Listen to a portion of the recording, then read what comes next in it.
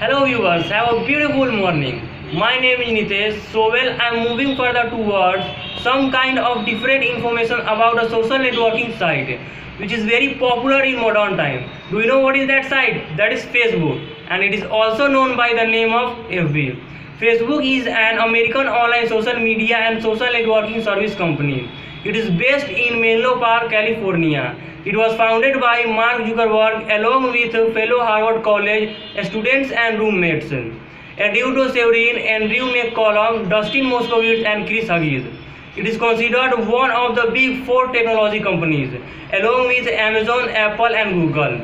Facebook is a public type of business, and site is social networking service. This is available in multilingual. Facebook was founded 15 years ago in Cambridge. It has two websites. First one is www.facebook.com and second one is www.fb.com. It is written in C++ and PHP as HHVM. Thank you so much.